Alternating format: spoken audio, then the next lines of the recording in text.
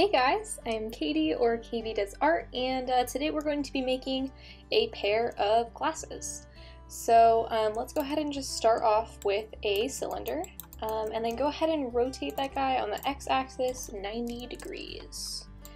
Alright, let's go ahead and scale this guy down to make a thin pair of glasses. I'm going to make mine cool circular glasses. So you can go and select front faces, then select the back faces, and then go into wireframe mode and let's extrude that guy and push our thickness down to negative 0.05.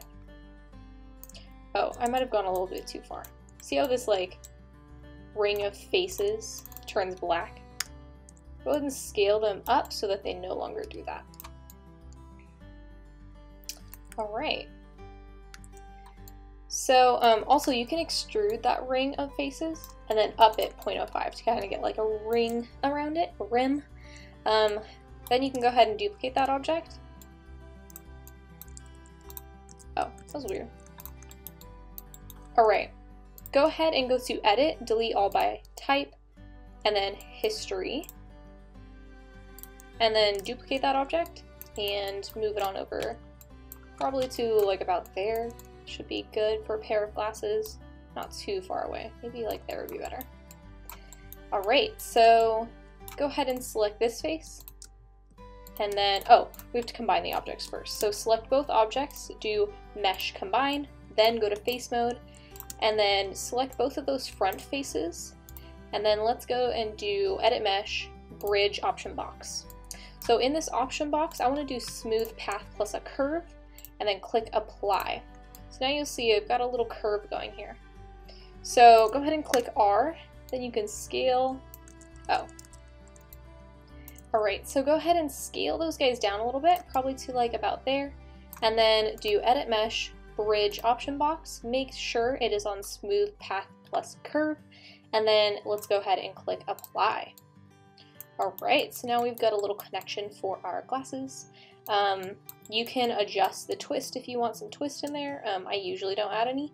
Um, but it's up to you. So kind of just what you want your glasses to look like. Um, you can also adjust your taper, so if you want them to be thinner in the middle, you can do that as well. I'll probably make line like that. All right. So next thing we can go ahead and do is um, click symmetry. You get there by holding W left clicking, holding, and then moving up to symmetry. All right, so now if we click this guy, oh, it doesn't. Okay. Never mind. You can turn that off. All right, so let's select this face. Um, actually, think what I would much rather do do I want to build off of this guy? I don't know. Select those faces on each side so that they're matching, and then do extrude and up that thickness out like that, probably to like 0.25. Alright, and then go ahead and select those back faces, extrude and offset them down to 0.05, and then extrude again and up that thickness so they go all the way back like that, and then you can click R and scale them in like so. All right, now we want to go ahead and add,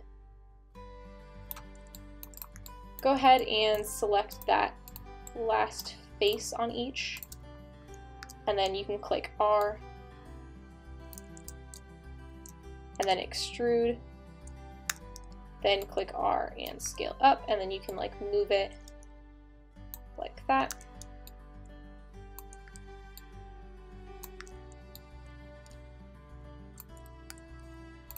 All right, and then you can turn on subdivision surfaces, but you'll need to go through and just bevel these edges on the glasses so that they stay round on those rims. So just go through and hold shift and double click all of those rings And then you can do Control B for beveling.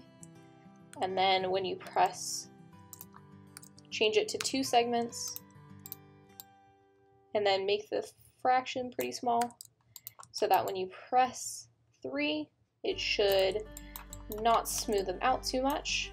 Then go through and select those inner edges like that. Do two segments again, small fraction. All right, and now that should really let your mesh um, smooth out. So yeah, that's basically how you make a pair of glasses. I hope you guys enjoyed this mesh. Um, in a different video, um, I'll probably do like a speed tutorial on painting it um, and texturing it. If you guys want to, um, it's pretty simple to add those little like nose things right here. Um, all you need to do is just add two spheres and, you know, just scale them down so that they are like that. And then you can just push them here and, you know, connect them as needed. Um, I didn't because I think glasses look a little bit cooler when you don't have to add those details. But if you're a detailed person, then totally go for it. I think that's a great um, habit to have. So yeah, um, let me know if you guys have any questions. Um, but for the most part, I'll see you guys next time. So um, yeah, this is kind of how you can make those little edges combine. And then all you'd have to do is just combine those guys to the mesh and then um, bridge a face of this guy to that. So I can do that super quickly for you if you would like. All right, and then you can select those guys, do mesh combine, and then you can select um, a face here and a face here, and then just do edit mesh bridge, and then you can select a face here and a face here, and do the same. Edit mesh bridge. Um, but yeah, that's about it. So I hope you guys enjoyed this tutorial, and I'll see you guys next time. Bye guys!